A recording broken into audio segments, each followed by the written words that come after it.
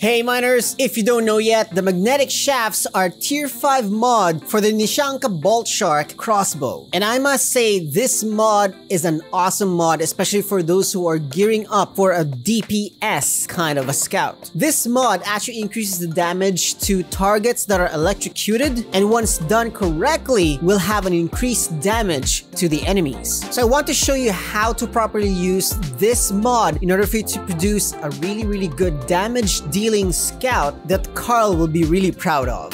So for educational purposes, we're going to be using the Assault Rifle Deep Core GK2 with an electrifying reload overclock. Now this overclock electrocutes enemies that got hit by the bullet every time you reload. First things first, this combination you don't need to use it on regular grunts because they're easily killed using your primary or just the regular bolts of your crossbow. So instead, use this bolts or use this combination against big or large enemies like the Praetorian, Oppressor, Dreadnought, or even like the Spitball Infector. Anyways, we always start by electrocuting the enemy and then prepare shooting with the crossbow. But there's a green big butt there, pun intended by the way. We don't directly hit the enemy with the bolt. Instead, we're gonna use the magnetic shafts to be attracted to the enemy. So we aim a little bit farther from the enemy, not directly at the enemy. And also make sure that the enemy is still stunned before you shoot your crossbow. But there's also something that I really want to add, especially if you're dealing with enemies like Praetorians or Oppressors, you do need to take off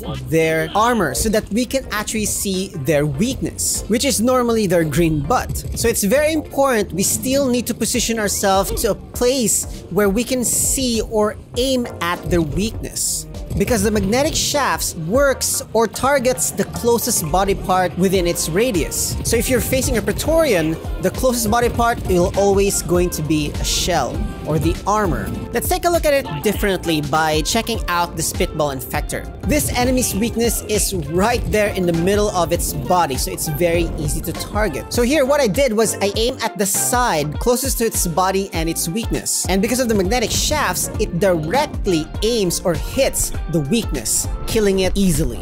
Here it is again, but this time with the detonator, which has a very clear area of weakness. So aim to the side of that weakness and then voila, it's going to be a direct hit, destroying that weakness and dealing a big or huge amount of damage.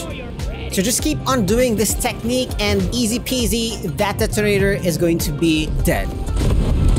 Now let's talk about what you should not be doing if you're using the magnetic shafts mod. Do not use it when you're very close to the enemy, even though we know that crossbows are a lot more deadly when using at close range. But because of the nature of the tier 5 mod magnetic shafts, it will not work and will just miss your enemy. Another thing, magnetic shafts do not work against loot bugs or fester fleas, so don't waste those precious ammo on them.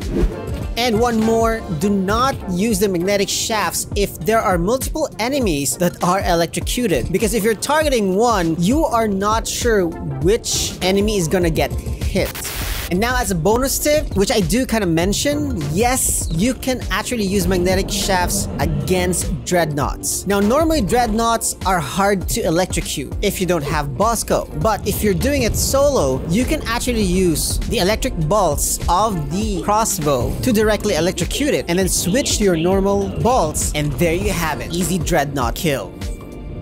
So if you want to master being a scout and use different kinds of bolts, please do consider subscribing and also check out this video over here. And if not, you can also check out my other tips and tricks for Deep Rock Galactic over here. And remember to continue to rock and stone.